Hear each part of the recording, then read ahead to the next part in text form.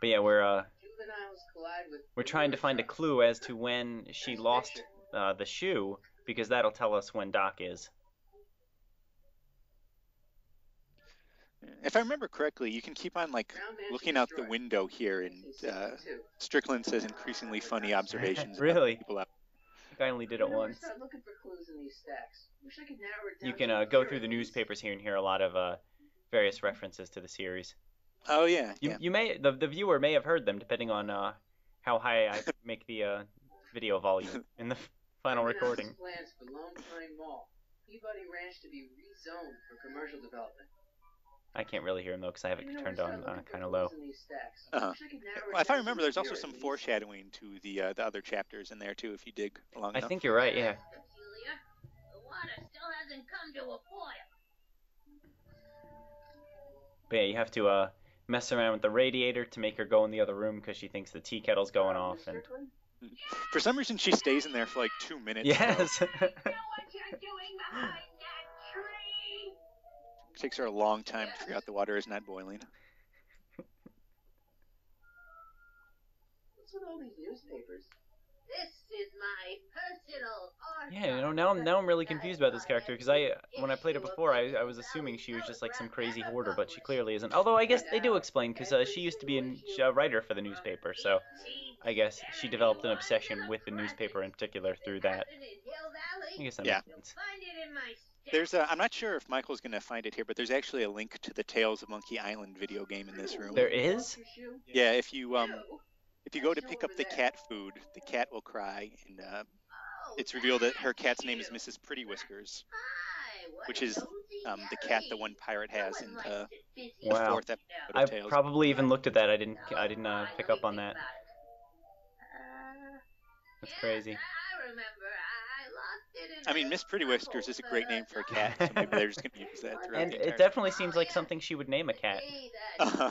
speakeasy burned down. Speakeasy. Hill Valley?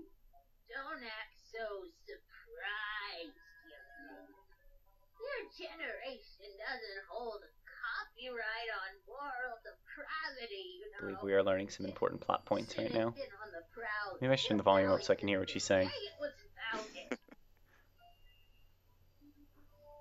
Wow, a speakeasy. That must have been wild. This is when she's revealing the speakeasy. Yes, okay. And then we have to look through the newspapers to figure out exactly when the speakeasy burnt down. Yes. Is that what's going Well, on? actually, I think uh, before that, you need to look through the binoculars Yes. To find Biff coming out of the video store because the date that that was built is shown there. That's right. He's coming out of there with, with these X-rated movies. That I I'm not sure if they say it's X-rated, but like Oh. he's got it in, in like an opaque bag and he's looking very guilty. I just assumed. Yeah, so either it's X-rated or he doesn't want anyone to know he's renting Bambi. Yeah. Back when there were videotapes, and you and you had to get your pornography via them. Yeah, yeah, generation. Hard to imagine such a world. Slackers to get too right. It's better tone it down. We're starting to get a little too rated M for mature for the uh, Game Cola video crowd. Huh? Uh, just put an NSF. Yeah. There you go. Down there in the town square, right where that disgusting videotape rental store squats today. The video store building must have gone up after the speakeasy burned down.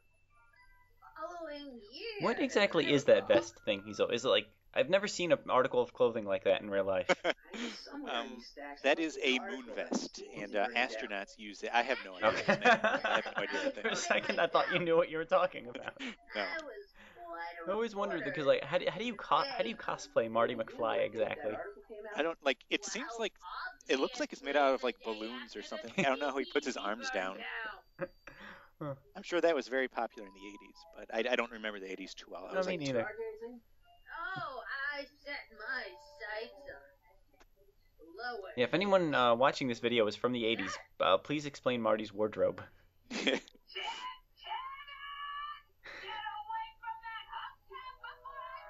You know, far be it for me to criticize Michael, but I do not remember spending this much time in this room. I do, but that's like I said. I've I've got some sort of problem where I have to Right. investigate I mean, you everything. I think I'm probably just remembering my second playthrough too, where I sort of knew what I was doing most of the time and, and skipped a lot of stuff. Yeah. Well, unlike other writers on the Game Cola staff, I actually think these games are kind of funny. So I, oh, I agree.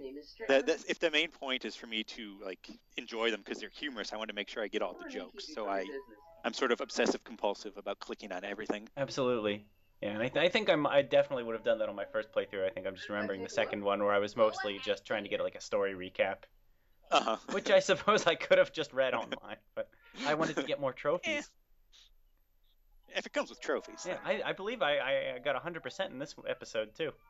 Ooh. Yeah. Not too many games where I have all the trophies. 1932. See, the sad thing is, I got these for free, but I'm almost certainly going to buy it when it comes out on a disc form on, on the PS3. uh, it actually is coming out on a disc. Oh, it's coming out on a disc for a PC soon too, I believe. I, well, if if the PS3 has trophies. Oh yeah, then- just oh absolutely. If it's a choice between the two versions, for that. get PlayStation 3 version. plus the controls are probably less annoying. Oh yeah. My newspapers are in pristine Yeah, I believe Telltale like they signed some big agreement to uh, publish like they they have uh, greater publishing rights on uh, consoles now or some something like that. Oh, So I think I we're was- going to be seeing more games. They might even like start porting older ones onto uh onto the discs, which would be kind of That'd cool. be fine. with- I was always sort of curious why it was never. I like. I'm an old guy, so I like my video games to be in like a physical form. Makes sense. Could keep little Gerald out of her clothes. I don't know. More and more, I'm finding myself really appreciating downloadable games, but I think that has more to do with the, the price than anything else. grandfather gunned down by I like getting new gangs for ten dollars. kids over a Yeah, I mean, that's true. ago. In case you guys couldn't hear what was going on, we just find out that the uh, the vice principal was a crossdresser as a kid. That's right. Like it seems to me Marty would want to steal that picture. I believe it will uh, come up later in the game, not in this one. No, I am showing that to everyone.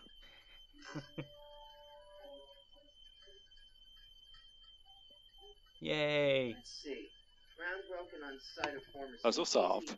Singer vanishes. Doodly doo. I don't know doo-doo. How he finds it so quickly though. It doesn't I was seem kind like of wondering that too. Here we go. organized by date or anything. but- I I would also, um, uh, this is nitpicky, but it does not look like there's like 60 years worth of newspapers there, or however many years it's supposed to be. Well, her bedroom is just speaking covered arson in boxes case of I can I can accept that. Carl Sagan was pulled from his Carl Sagan.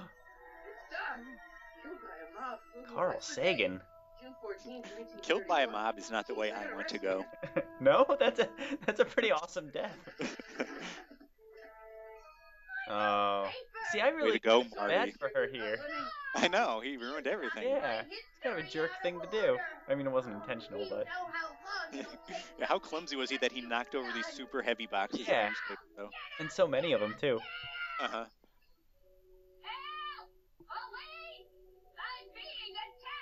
Feel bad every time I see that part.